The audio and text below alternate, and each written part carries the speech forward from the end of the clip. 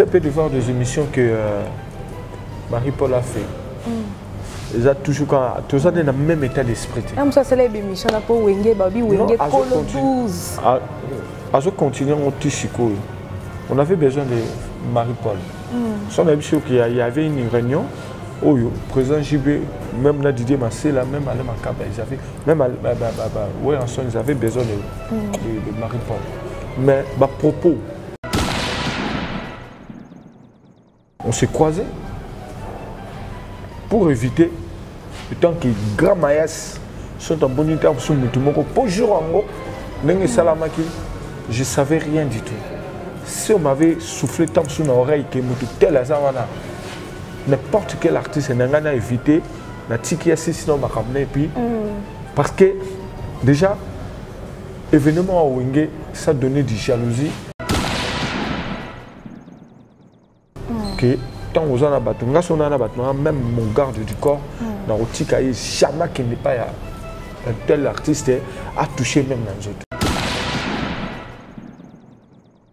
bakende mpena mosika président bgb alobi toyei koredémarre lisusu la musique congolaise parce que mwa fa ekotaki mm.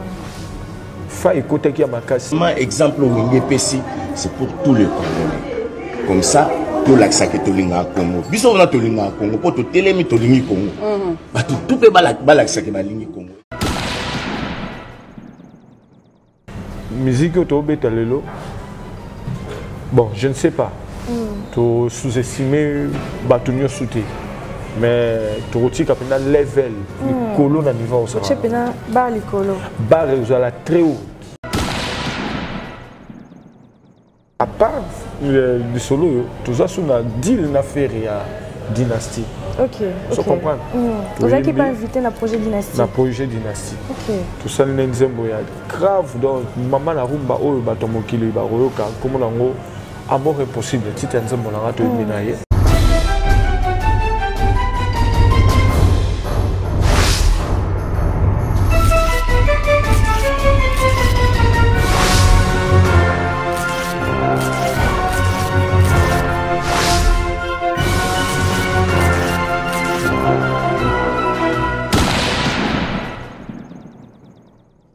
abonné de cléboa.com, bonjour et bienvenue. Ça dépend de l'heure à laquelle vous allez nous recevoir. Je tiens avant tout à vous remercier d'avoir porté votre choix sur cléboa.com. Merci de vous abonner massivement, de commenter et surtout de ne jamais oublier de liker toutes nos vidéos. Et nous, en retour, on sera là pour vous divertir, vous informer. C'est de notre devoir. Je tiens avant tout à remercier Maïlé boss Pichou Mongaya Merci pour la confiance renouvelée à mon égard, sans oublier de la nation Tonton Bana.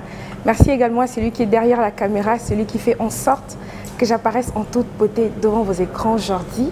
Et euh, merci à Steve Labbé, merci à toute mon équipe. Voilà, mesdames et messieurs, je ne serai pas seule aujourd'hui. Je veux recevoir pour vous un grand artiste musicien qui a marqué son époque et qui continue de faire la fierté de la musique congolaise. Et là, je parle de Emilia Lias de Mingongo. C'est avec que nous allons dérouler cette émission. Bonjour Emilia Lias. Bonjour Annette Chituka. Anna ah, Komba, hein? Ah, Donc, Jibé,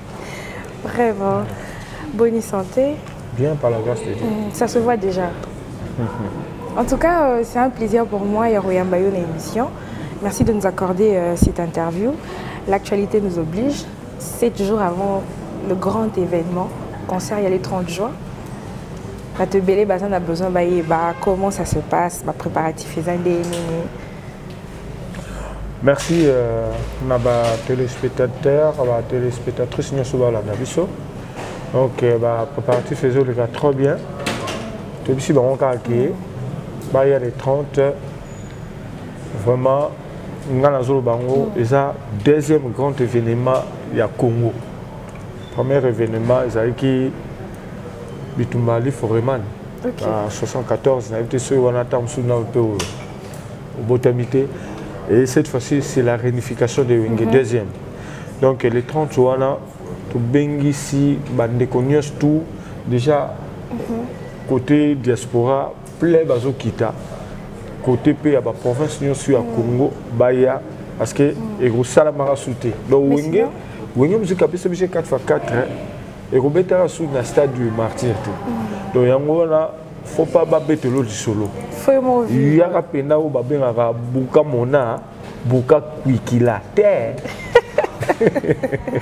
en tout cas baémotion na bino eza nini parce que 7 jours eza ebele lisusu te est ce que hmm. boza déjà prêt sur le plan artistique euh, chorégraphique est ce que tout va bien bapodium bainstallation comment vous vous organisez déjà oui merci pour la question déjà tout va bien okay. parce que côté ba répétition nde kaka olobi ba chorégraphie na babilo mosusu ezoleka très bien très trop bien euh, j'espère kutu baéquipement ezouta à paris nasi ekoma mpe lelo basusu bato bazovage baoya lelo mm. donc na cargo na bango na nsima kuna eza komona na 500 tonnes kaka 500 tonnes oui, eh, donc eh, son et lumière mm. donc musique oyo tobeta lelo bon je ne sais pas mm. to sous-estime bato nyonso te mais tokotika mpenza level mm. likolo na niveau osalaa mpenza bar likolo bar ekozala très haut très haute na niveau osaka mais euh, emilia tu sais qu'en venant d'ici parce que moi j'habite à kitamo magasin nakomi mpenza na kitamo magasin parce que toza na saison sèche mbula ebetaka te mais nakomi na kitamo magasin mbula pene ebeti engai ekangaka kutu na ngai naya te mais na signe kaka mbula yango nazwi transport na ye supposons que le 30 juin mbula ebeti bosala ndenge nini mbula wana oyo oyo oh, ye betelo eyaki kaka mm. bénédiction mpo oya kokutana na ngai parce que obengi nga mpe trop yo oyebi mais le 30 nzambe ayebi mm. eloko ezosalama le 30 ngai na yo toyebaki te ke le 30 juin toyebi ke eza date moko historique ya mboka na biso mhm. mais je savais rien du tout ke wenge e coïncide na lisolo ya wenge donc euh, na rendre kaka je grâce mm. eye ke ntango eza mabongisi na ye akosalaka eleka très bien donc eloko moko ezala te toa na saison mm. sèche rien se va se passer jour wana tozosepela indépendance epuis tozosepela la réunification de wenge e nakoyebisa kaka mokili e mm. comprendre eloko moko okay. la réunification de wenge bazwa yango na basens ebele positive tala kaka 25 ans après wenge oyo oh, nini wenge esalaki te hmm. libala ekabwana ata mosolaki na mwa petit copain na yo ah, wenge ekabwana na bafamille même nga moko etant qu'artiste musicien ya wenge après la dislocation de wenge na famille mpe hmm. bazalaka na ngai mais babi biso toke na biso boye yo oke boye me biso toya boye mm. donc wenge c'est vraiment quelque chose et puis bazwa yango kaka te mpona miziki bazwa yango mpona congo mobimba mm. pourquoi pas lelo mpe na ntango mosusu bahomme politique oyo bazolobaloba oyo bazoliaka mbongo ya congo basangana mpe mpona force nano ya congo mm. unité nationale non on a fait ça pour l'unité nationale tosali yango parce que congo ezalaki moko ntango le défunt président mobutu azoloba papa bo moko mama moko ekolo bo moko mhm. ezali kosangisa baetini nyonso tudan wenge ezalaki na diversité ya baetini nyonso na kati mhm. donc toza korepresente mpena congo mobimba yango après la dislocation tozongi parce que on a mhm. senti que euh, le congo division ekoti trop tribalisme ekoti yoka moluba alinga moluba mm. moswahili alinga moswahili mokongo mpe alinga mokongo non il faut tozala bomoko mpo tosala force ya kongo mm. ozo comprendre lelo on est combati bazobundisa biso na est mais soki toza na, na, na, na mm. unité te comment on va gagner tokolonga banguna ye ya parti ya eloko oyo mpe tosangana na tozala bomoko mpo topesa force na ba FARDC na biso balonga bato bazo koagrese biso na mboka na biso mais aujourd'hui il y a de voix qui s'élève ba annule kaka concert nayebi te soki bino mpe boyoka yango par rapport ya eh. makambo ezoleka na l'est du pays nyonso tu bato tu bazoba banile concert eza kaka baye kobwaka kaka kobakisa levire na farine mm. donc baye esala lisusu suka na, na promotion ya kosakana te mm. je sali de loin le colonel euh, achou manix on était avec lui hier aza mpe moto ya front aye mpe kaka rapide ayebisi biso toyaki na na ya na nga ingénieur ciel ebula mhm. abi basoda bazosepela na likambo na niveau osakana te epuis ah ntango producteur na bino alobi ke 40 pourcent ya recette mm. ekokende mpo na fardc epesa bango susu mwa encouragement bamilitaire basoda bango mo babima comment se faut-il biso kutu tozolinga bana na wenge ndenge bazongani basangani na ndenge producteur alobi ke mwa 40 pourcent ekokende mpo na raison eye ya kosunga biso awa mm. bato mosusu balobaki o oh non concert ezala nile eza na waka motema mabe yango toyebisi bango babakisi kaka levire na farine donc bango mo baosala sikoyo contre publicité na bango baosala bayebi te ke ezo motive su bato baya susu ebele na biso yo le 30 dans une semaine ero déjà donc bato bakoya ntango mosusu oh, ba 15 16 ntango mosusu bayosa bango bazwa place te donc baporte eza déjà na 10 heures ouvert mm. donc boyaka déjà parce que concert oyo tozobeta ndenge alobi président euh, euh, jb epuis na weranson oyo aza na batension surtout bamisio baza na babela batension bakende mpena mosika po eza mpe jibe alobi toyei koredemare lisusu la musique congolaise parce que mwa fa ekotaki mm.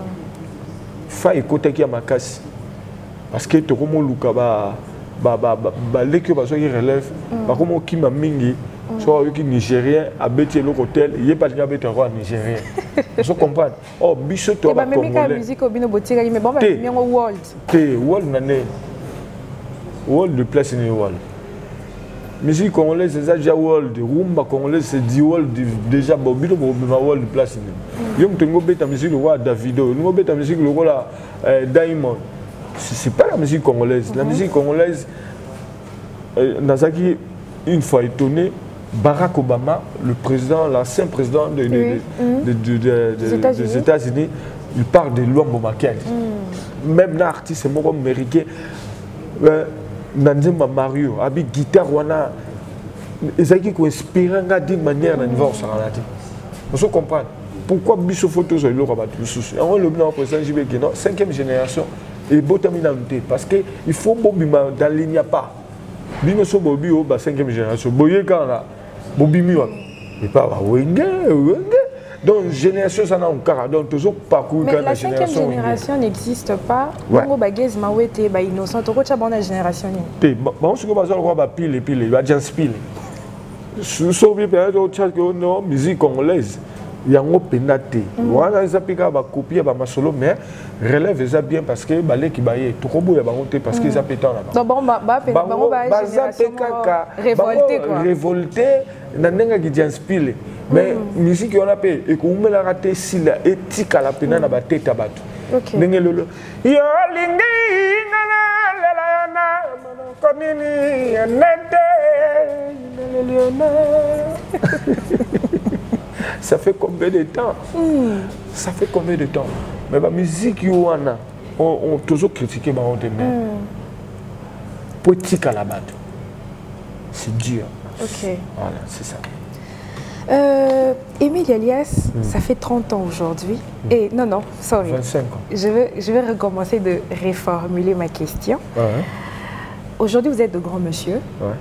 25 ans après, les lots tomoni bino bosangani. Mais vous avez dégagé ba fraîcheur moko lokola ba jeune moko ya ba 30 ans. C'est quoi le secret Wenge te. Wenge. Mm. Wenge to na so ba jeune. Wenge tozalaki na ya bozuma kasi te moko kaka bavanda na makampana bavanda na ba place moko boye oyo donc wenge e, e motiver gen, génération nyonso mm. tout que ata naza nango te donc la génération oyo enge nde bato balobaka ce n'est pas une génération perdue non non non eza génération perdue te bato batanga bon chic bon genre mais biso tozalaki nanu nga mpo nakota oyenge baotuna yango oza na niveau nini Okay. Vous comprenez mm. Mais le loba bano belé belé baillé après la dislocation de Wenge mm. et comment on est ici les côtiers l'union côtier au fêlé. Okay. Mais au fond miziki na mwa maturité na bagage mm. ezalaki nango mpena te na yango tolobi toye to redémarre mm. lisusu kaka biloko mosusu tokomomona neti ekomaki kokima mhm. donc tozongisa mpena miziki balanda sikoyo yango tokosenga na baleki na bayaya mpe mm. le 30 boya boatire mpe mwa leçon parce que guitare makaba azobeta ah nayebisi yo nzembo lokola mololo nzembo lokola euh, lidi euh, la fille du roi 34 mm. ans après mais so makaba obeta yango c'est comme si abeta yango sikoyo mm. c'est comme si asali yango asalaki hier lelo eyaki ya tosala révision mm. donc osanti mpena c'est un génie osanti mpena ke yango toyebisi bandeko na baleki mm-hmm. bobude te boya le 30 boya kozwa mwa sous leçon Hein? Moi, ba musicien mon surprise au bino bombi ba obimara na. Bon voilà, eza eza eza au monde a dévoilé euh euh secret news to a te. Toi la posa ba ya po jour en ezara. Eh waouh, boende. Eh donc ezara be émotion na be émotion. Hmm. Mais émotion moko vraiment ya grave, ya elenge ya bien hein pour musique oreille ndefese pe. Hmm. Tolandi euh, ba ba internautes, ba téléspectateurs Eh. bayebisi nga vraiment natuna yo ndenge na affiche ya en tête ya affiche tozomonaka ya six personnes hmm. bino ezo dérange bino te non ça nous dérange pas okay. ça nous dérange pas donc euh, il faut otala nanu hmm. bayaya wana ce sont eux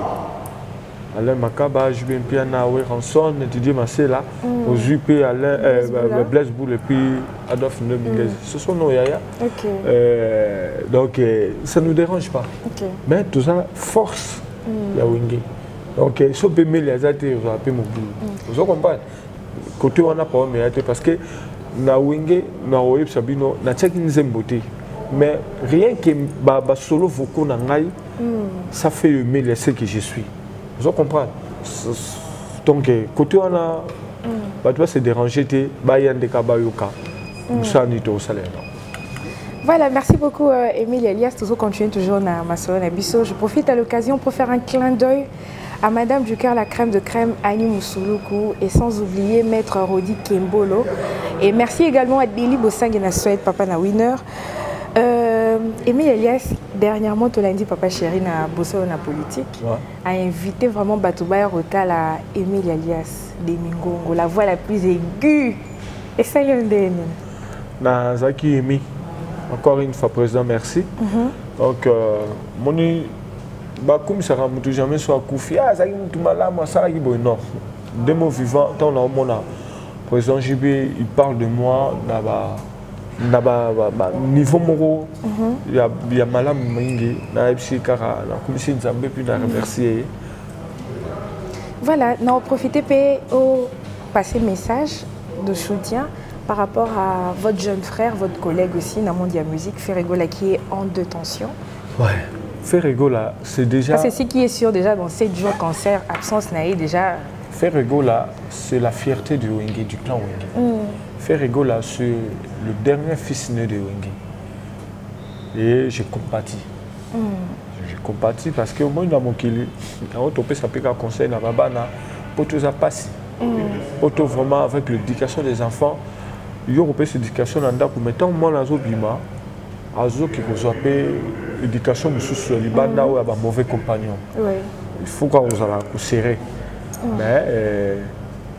nzambe aza juste hein? toyebi ke ferre gola d'ici là kobima mm. oyo esalami na circonstance nyonso torendre kaka die grâce mm. mais toza kose compatir euh, na ferre gola puis na bagaulois parce que ferre gola c'est l'un de wenge mm. tozalaki na mposa azala na biso mais esali ke contre temps oyo ezwami mais toza koencourage ye mm. Euh, toyebi ke ntango akobima parce que mm. à part euh, lisolo oyo toza so na deal na fere ya dynastie okay, so okay. comprendre mm. ozalaki mpe invité na projet dynastie na projet dynastie okay. tosali nde nzembo ya grave donc mama na rumba oyo bato ya mokili bakoyoka nkombo na yango amour impossible titre ya nzembo na nga toyebi mm. na ye vraiment euh, nayebi ke ntango akobima tosalaki ja asalaki ja euh, abimisa déjà rumba rumba trap euh, ya mm. dynastie mm -hmm. premier volume c'était vraiment bien artiste hein. non très bien parce que deposa ba kin pe boyo ka onde déjà la poto c'est bon bongo Kinshasa Kinshasa eza mboka ferre mhm. donc euh, c'est bien bon ozo comprendre lelo mhm. nyonso esenga susu ezwa susu piston makasi ntango motu mie moko aza présent omoni ke kokende su makasi mais ezokende ezo kende félicitations nayebi ke kala te ya kozala libanda donc nzambe ayebi pourquoi voilà tozolanda bino na baémission bolobi boye ko redémarrer la musique e botie mpena bar likolo donc motu oyo akomeka kobeta na stade de martyr aodinda ah, moto akomeka kobeta concert le 30 aomelama temps d'assurance omoni elengi oyo ya le 30 moto akolingaka ke kobebisa so matoi na ye to azo ayoki deja babilenge aobiso mpe tolandi kofi olomide atie mpe ka le 30 yango tolobaki ti moto oyo akotia atie ti hmm. toyeba sor siko jour pome sor jour wana nde sor hmm. puissance ya wenge wenge eza na c'est une génération bénie de dieu quand tu nous hmm. combattes ozo combattre nzambe directement oh. et pourquoi euh, wenge biso tout moto akufi aza te mm. quelle bénédiction mm. moto akufi aza te donc biso tout toza wana eza bino nyonso bato bozo remarke te que mwa baabsence ezali so nayebi soki empela azoya le 28 bongo marie paul euh, tolobaki yango likambo ya marie paul na rikoko mm.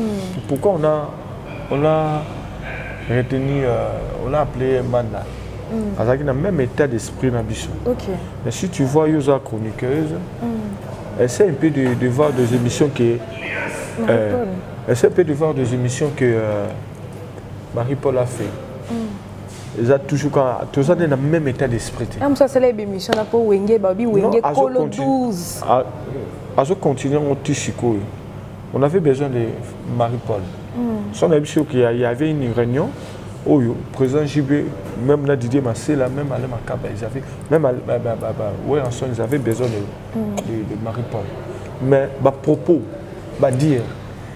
État d'esprit nini oyo ya koya nango na na lingomba oyo papa po papa wenge papa mama wenge muzika abengisi biso bana na ye mm. na réunion de famille ekozala le 30 sikoyo yo koya na état d'esprit nini mpo ozoloba déjà bamabe ya bafrère na yo mm. yango fo ozala na mwa mosika mais ezaki eh, projet oyo kutu ezalaki mingi à partir ya pentagone mm. mais totali ke eza wenge la réunification de wenge mm. kala ebwingi ah manda ayembaki mm. ilela totalaki mpe ke euh, kaskito euh, nani marie paul ayembaki mais il parle mal okay. au sein ya famille wenge azoloba makambo ya malamu te mm. sikoyo comment cette personne tokomema ye aya esikoyo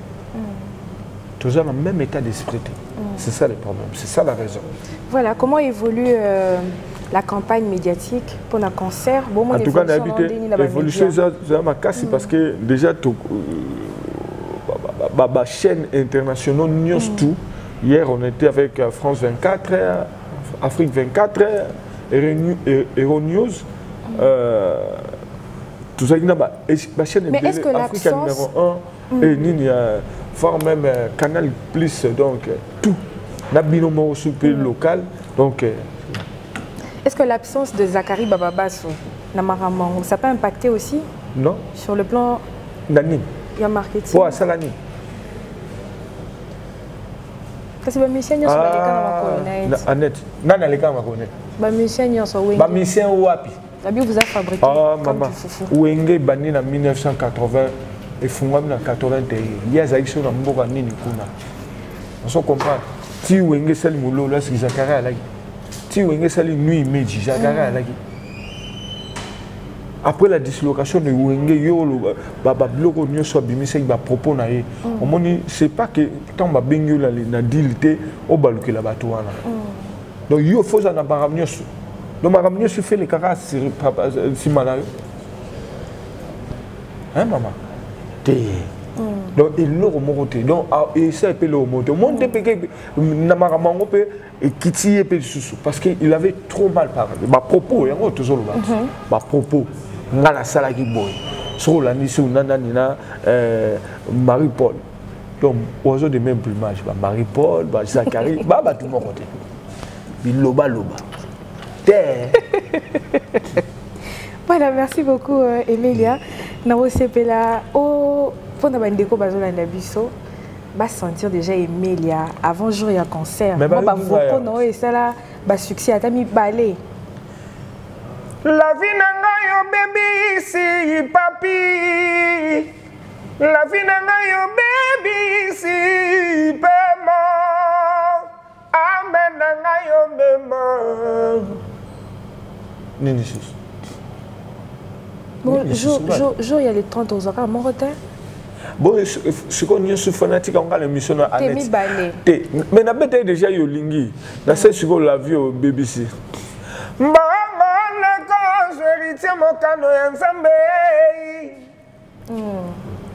bana kin bato basentir déjà le 30 venez nombre nasi boyoki nayebi te so nayembi mabe boyebisaka ke non mele atala vocal osala yango bien te nakobandela mais le 30 oyo ya ozanga azangi mpena histoire ya, ya vie mobimba ozo comprendre boya le 30 oza desite napesi mbote na eh, na eh, kolo klebo wa pichu mongaya pichu mangaya mwasi kitoko mwasi pembe makasi ya kongala eh, pichu napesi ka mbote na alain boyika l'honorable aza likolo donc ti ba 21 heure aokita na kinshasa bruno, euh, bruno lubika mbongo ya propre euh, jansi makoma euh, garçon dynastie na états-unis euh, kimbangu euh, papa na victoria na états-unis tobosani te euh, ndeko moko alaki awa chico lalabi ye pa auti états-unis nayebisi yo basociété ya, ya, ya aérienne mm. il se pose des questions qu'est ce qui, qu qui se, se passe, passe au congo, congo? Mm. etikala kosalama te mais après projet ya le 30 concert est ce que bozali so na baprojet mosusu tourne ouais, par donc exemple voilà eh, nakotikela yango mingi merci ya trop na producteur na biso maison massa na producteur na biso mm. amadou diabi mm. baproposition ya baafrike ya ba mm. même nde toali seke wenge 4 fa 4 ezongi te biso sikoyo tosala mpo toza patrimoine ya congo mm. tosalaka ndenge patrimoine osi afrique tosaka nde kasave ya bakosala bato tu bakoma na bangambo na bango mm. na sui ya un programme tobenga neti mm. place nyonso toyali toye tokutani toke kobeta otya bato mingi eh? hmm. déjà euh, toyebi ke baleki ebele bazolela mais balela te babongisa nde ka aple mosala parce que hmm. tokóma lokola neti na fast food fast food oyali biloko oyo ya vite fait oyoka mwa 30 minutes yo mwana na deso ekosala 30 minutes topondu pene ekosala 30 minutes olia na richard gaz eleka nango te mais biso tokoka kolinga bamama biso ntango bayaki donc ntango azolamba obeti batour oyembi yembi banzembo osiliki kutu na osika mai ntango azopresente o damas ntango mm. ozoli yango epesi yo na pongi okolala mpenza pepele epesi na nzoto mm. makasi aujourd'hui balingi nyonso eliamaka ya siko neti tokima mbangu tolanda mbangu donc bamiziki na biso koma fast food donc eh, tosalaka mbangu mbangu c'est comme si to donc soki nasali te non non mm. ozo comprendre donc lelo bino boloba boza fier na nouvelle génération te toza très fier na bango parce que relève faut na accepter relève naza père de famille nakolinga mwana na ngai azwa relève na ngai mais ezala ndenge ke ekuti asala piske ngai mm. ozo comprendre asala plus ke ngai eloko moko na ngai nalobelaki très capital ekimi nga kaka boye mais mm. tosantir ke yango na toyebisa oyo bamiziki na bango wana est ce que ça va durer 10, 10 30 30 40 ans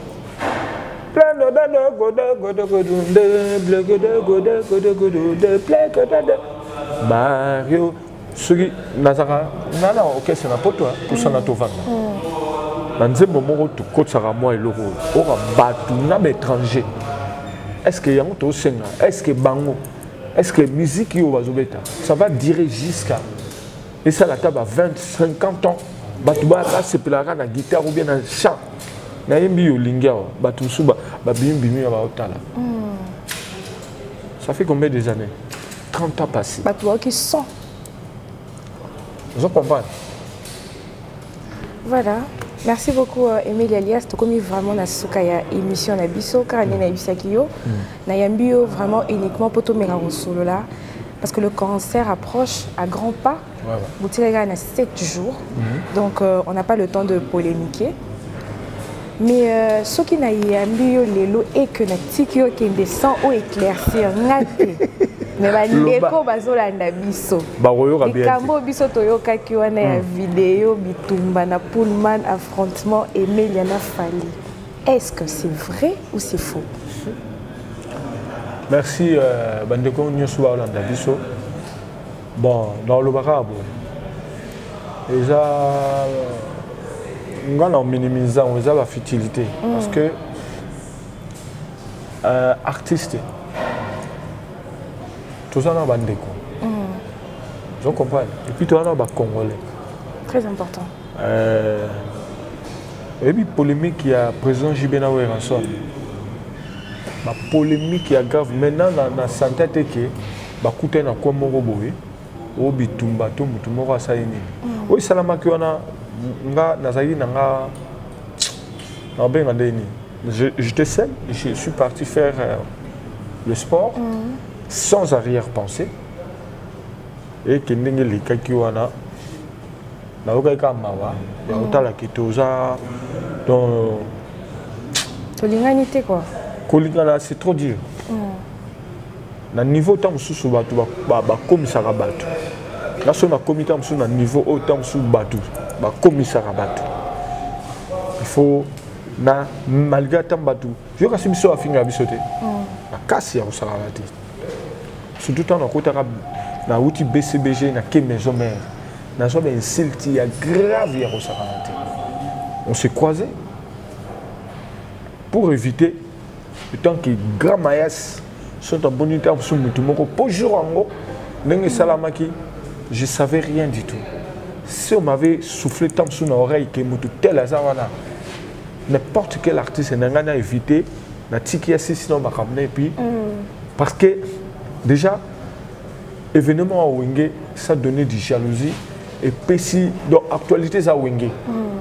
baleki mpe baosepela te la soki baza place bazali so babi ke oyo baosepela bakosi c'est l'hypocrisie mm. esalaki sikoyo ke to créer mpe base ils ont créé parce que on m'a pas touché naza na litutu te to likofi te mm. nini bazwaki kaka ntango so babendi nga senete mais na regretaki mm. ke ntango oza na bato nga so naa na bato naa même mon garde du corps nakotika ye jamais akende epai ya un tel artiste a touché même na nzoto okay. c'est déjà l'éducation mm. biso toa wenge j'ai pris une très bonne éducation encore instruit éduqué encore plus na babiloko ya mike mike mm. tomoni ke baleki donc il faut, ils ont beaucoup à apprendre voilà. so comme ntango so na mwa level mo na mwa niveau moko boye il y a beaucoup de choses à éviter il y a mm -hmm. beaucoup de choses oyo et tant qu'une personne publique il faut éviter voilà. donc na minimise yango rendez-vous ezaka moko oyo tu mokili eyokaki yo emile ya na ndeko tel so mm. neni non balingo nde balingaki bacreye euh, base na bango parce que l'actualité wenga tout dominé mm-hmm. ozo comprendre bon nango meka nano mpe mpo nga mpe na créer base yango wana mais euh, eloko moko ya te bana kin bana poto bana monde entier bana congo mobimba boya le 30 bokozala desi te po wenge nde moto esala bato wana nyonso tu wana tout wenge ekei inspiré même na baorchestre oyo ebimaki liboso na yango faut tozala na mwa nouvelle chrétien faut tozala na mwa ba, ba, ba, bateti moko ya bajeune mpo to rajeunir okese wenge wenge ya il faut, faut respecter le wenge mm. génération wenge vraiment ezomérite barespect na makambo ebele parce que et valoriser musique congolaise na niveau ya kosaka yango te et après la dislocation et ils ont voulu koboma wenge mais après la dislocation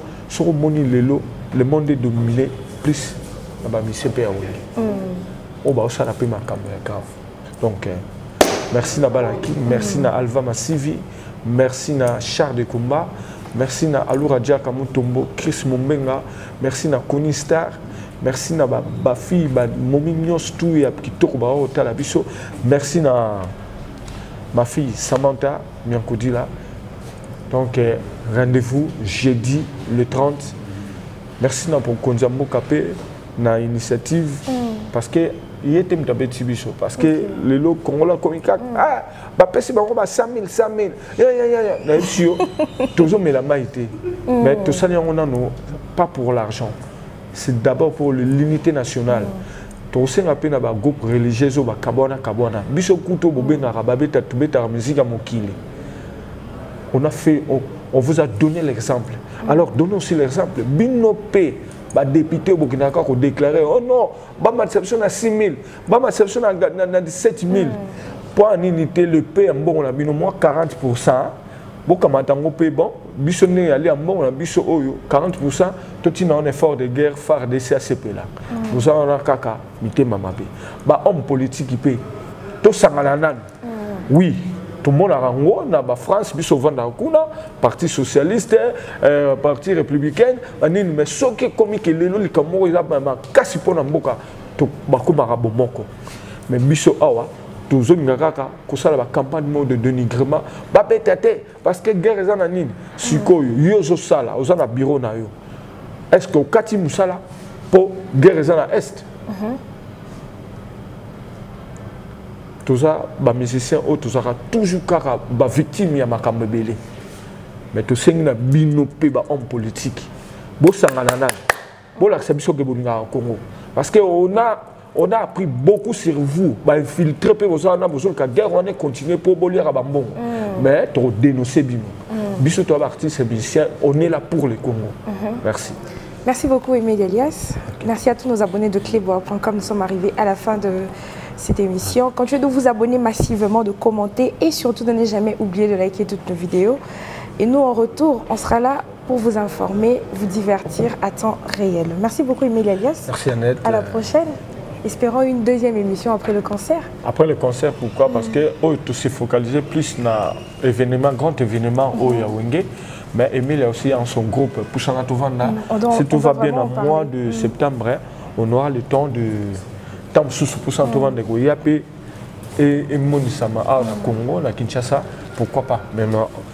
tokolobela lango mm. après neti continuer.